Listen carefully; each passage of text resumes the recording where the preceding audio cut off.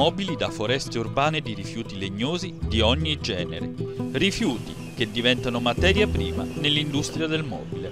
Un flusso alimentato dagli accordi con 5.000 tra comuni e aziende per la raccolta dei rifiuti italiane ed estere. Un esempio di economia circolare che permette di evitare l'abbattimento di 10.000 alberi al giorno, oltre che l'abbattimento dei costi aziendali di approvvigionamento.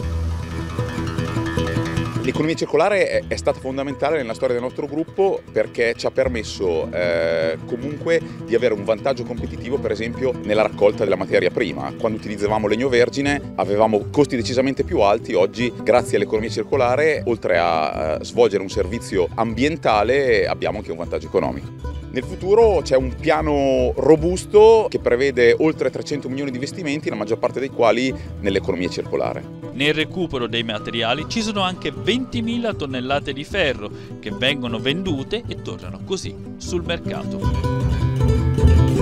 In questi impianti non si tratta più legno vergine dagli anni 80, ma solo mobili vecchi, cassette della frutta, pallet e altri pannelli di truciolato che, una volta lavorati, rientrano in case ed uffici. La cosa che mi piace veramente della nostra attività è che riusciamo a trasformare una materia prima così povera in di fatto un mobile di pregio.